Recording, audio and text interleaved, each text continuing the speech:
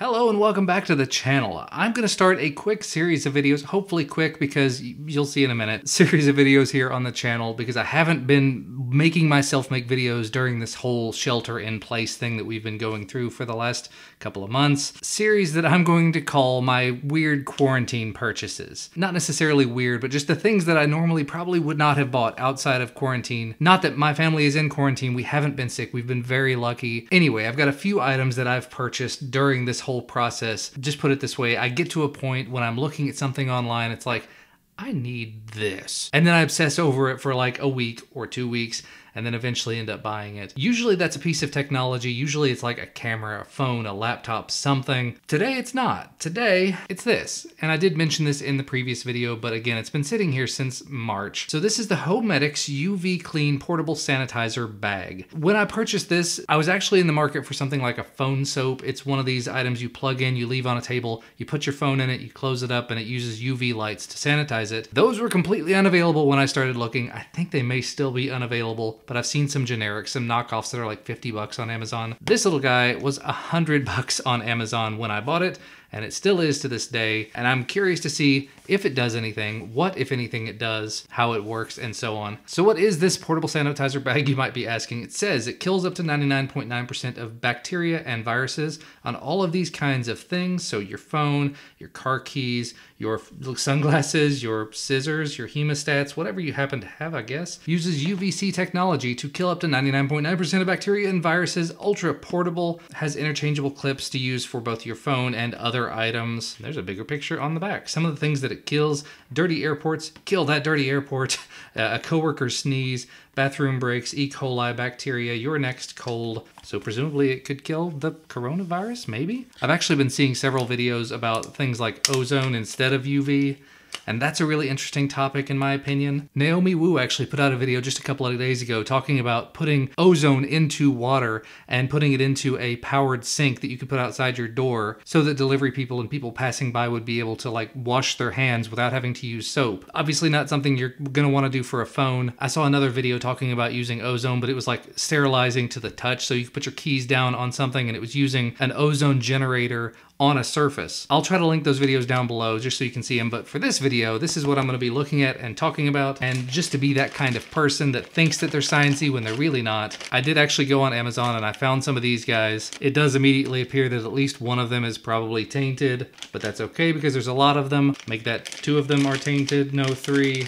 Crap, I should have done this a month ago. Anyway, I think there's enough of them in here to do tests with. They're not Petri dishes, but they're kind of the next best thing. Found them on Amazon, relatively inexpensive. It's the Amazing Bacteria Science Kit. Agar kit, that's what they called it. Relatively inexpensive. It comes with swabbers and some liquid. And the plan, as far as I can see it, is that I would like to swab down my phone, put it on the dish, leave it for a couple of days and see what grows put the phone into this guy, swab it afterwards, and see what the difference looks like. Anyway, I've wasted too much time. I've been talking for five minutes already. Gosh, what is in this box? Silica gel? Do not eat. Throw this away. Stop. Oh, Okay, sorry, gotta go guys. Kidding, stupid joke. Quick start guide and limited warranty instruction manual, warranty info and so on. And also what looks like a USB cable, micro USB, presumably for charging. This bag is not a toy, but there is the device. There is the sanitizer, portable sanitizer. Looking at the quick start guide here, it looks like this little opening at the end is where the charging port should be. That's a little awkward, but okay. So you have a micro USB port sticking out right here. Luckily with my new whiteboard desk here, I do have a couple of USB ports, so I think I can go ahead and plug this in. The quick start guide does mention takes two to three hours for a full charge. By the way, this is portable in the sense that it has a battery in it that can power all of it, so you don't always have to be plugged into the wall. Whereas with some of the other devices, you'd have to. But basically, plug it in to charge it, unzip it, place your phone in the center for larger items, place directly on the clip holder, zip it back up, make sure the zipper pull is positioned magnetically on in the on position, figure five, magnetic on position, okay. Squeeze the home Homedics button to turn on. When it turns off, sanitization is complete. There's also some LED indicators. I'll just kind of hold this up here if you want to pause and see any of that and see it in French. Get this plugged in though. Very handy. I went to Amazon, spent 20 bucks on a two AC outlet for a USB port setup that I can just stick into the hole in the disc. means that I can plug in things when I need to. Very handy. Go ahead and plug that in. There you go. You can see it does have a flashing green light at the moment. Unzip this. all the way and look inside. It's got a very interesting feel to it.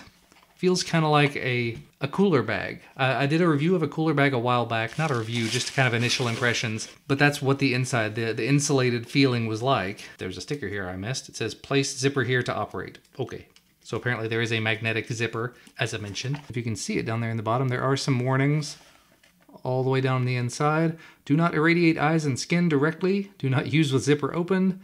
Tissue, the outside is 100% polyester fabric, so all of this on the outside. It is definitely a very nice feeling fabric. And it did come with a couple of clips as well as this little stand. So let's go ahead and clip some of these inside. And there you go. That's kind of what it will look like. And I suppose at this point I will go ahead and swab my phone. I did break out a couple of these plates. I am not a scientist. I don't know what I'm doing, but I want to see if this at least works. Just looking at them ahead of time, the plates are perfectly clear. Anything is like, it's on the case. It's not the actual growth or anything. I've got some liquid, presumably some saline, a little dropper, a little pipette. So I'm going to put a drop or two on the phone and then kind of swirl it around. Some swabs and stuff to swab it into. Try to keep things as sterile as possible, but that's kind of been life for the last few months is let's see how clean and how sterile we can make everything and how badly we can fail at it. Sorry. All right, so I got a drop on there. I've not touched anything else. Swab this around just on the middle of the screen of my phone and kind of all around. We'll do some lines in here. Oop, I'm messing it up. Make a little box. I am definitely doing a bad job, but you know what? If this fails, I'll just cut this out. If this completely fails, I may not even finish the video, but we'll go ahead and store this upside down, wipe the screen of the phone off to get whatever that was off of there. And I'm gonna stick this down in here it does fit snugly in there. By the way, I do have the iPhone 11. I don't have the Pro or the Pro Max or anything, so this is the one right in the middle. Looks like there's a little bit extra room. I guess if you had the Max, it would fit in there. Let's zip it up, see if it works. So this did magnetically clip right on there. You see it's got a little spot it can fit to with the Homedics logo facing out, and we'll see if it turns on. I definitely didn't wait for hours. I just went ahead and unplugged it, held the button for a second, and now it's flashing blue, so presumably the light is on in there. We'll just give it a minute, let it do its thing, leave it standing up, leave it alone. Well, that wasn't very long. It looked like it was about a minute. It's not flashing anymore, so let's open it up. And I'm gonna go ahead, not touch the screen or anything. Do the same thing again. So I'll put a drop right here in the middle. Doing my best not to touch anything. Swirl it around a little bit. And then in this plate, oh, messed that one up too. So yeah, you can definitely see I've scraped all these up pretty badly. I am no scientist. I went to school for computer science, not biological science. And I'm just gonna assume that I didn't quite get a long enough charge on this. Obviously, I spent like 10 minutes or less with it charging. So I'm going to let it charge and let it sit here. Going to put both of these into a place where they will be like warm and at a room temperature. I think they're supposed to be as warm as like 85 degrees and I don't have a spot like that in my home. So I'll do what I can. We'll put them someplace kind of warm and we'll come back and revisit this in a couple of days. If I see that nothing's happening with these or if I see that they're doing the same thing, I will definitely come back and try it again. I have more plates I can try it with before I wrap the video up. And I'll try not to mess up the agar and the other ones.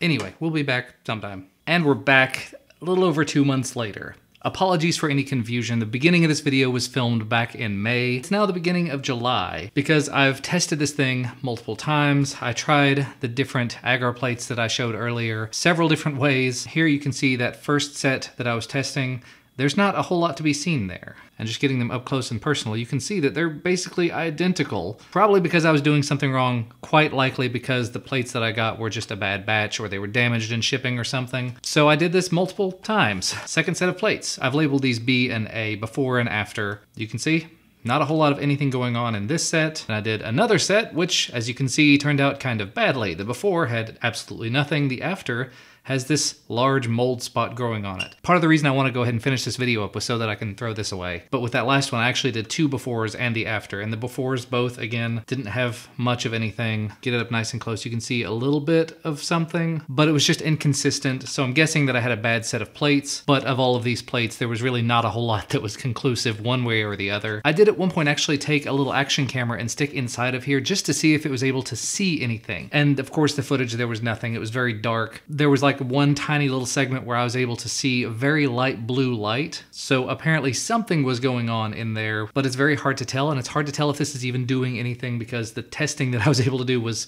not successful. Realistically, now that we're two months farther along, these things are in ready supply. They're 100 bucks every day on Amazon. Phone soap, I don't think is back in stock anywhere. There's a different version of the Homedics one that's more like the home soap. And then there's a million and 12 generic other ones you can get from China through Amazon. So I'll put links to where you can find some of these things down below if you're interested in it. I know hand sanitization, device sanitization, sanitizing anything and everything you can is definitely still as important as it was when I started this two plus months ago. And I will keep this and I will continue to use it. You know, whenever I go out, I'll bring my phone back in, my car keys back in, because something is better than nothing.